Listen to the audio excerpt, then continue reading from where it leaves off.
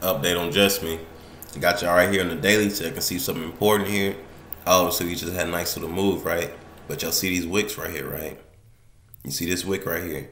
This whole area from thir- 13 cent all the way to like 15 and a half cent, I'll say, it hasn't been recovered yet. That's a problem. They could probably come back and get that. To be honest with y'all. So let's go a little closer so I can explain even more.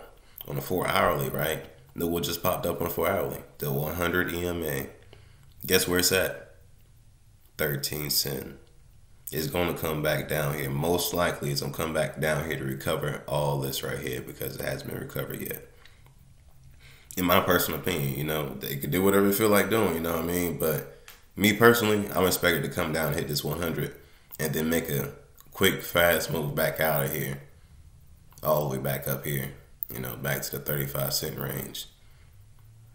I actually been tested tested twice already, so whenever it do come, it's gonna continue on and make another crazy move.